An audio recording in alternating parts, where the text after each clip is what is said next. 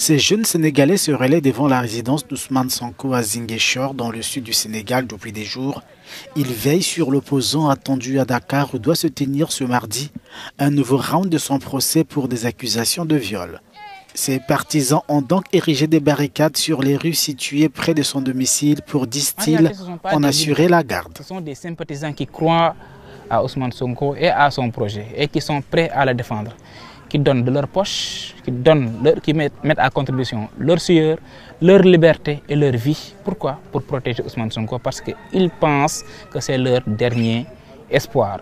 Un espoir que ces jeunes disent vouloir protéger même en faisant don de leur corps, le juge pouvant prendre une ordonnance de prise de corps.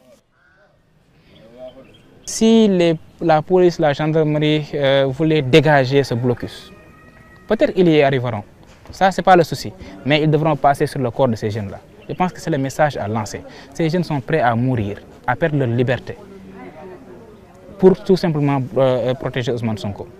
Pour ses partisans, le régime veut simplement écarter un prétendant sérieux à la course à la présidentielle. Une condamnation pour viol et l'opposant pourrait en effet oublier son ambition suprême.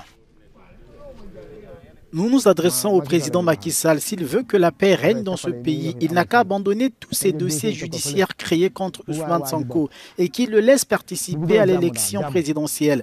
Même les autorités religieuses ont parlé avec Macky Sall, mais il refuse de reculer. Maintenant, c'est à nous de lui parler à notre façon. Il va arrêter.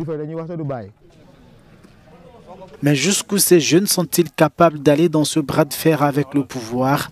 Reste à savoir si l'opposant sera jugé ce mardi par contumace ou s'il décidera de se rendre dans la capitale.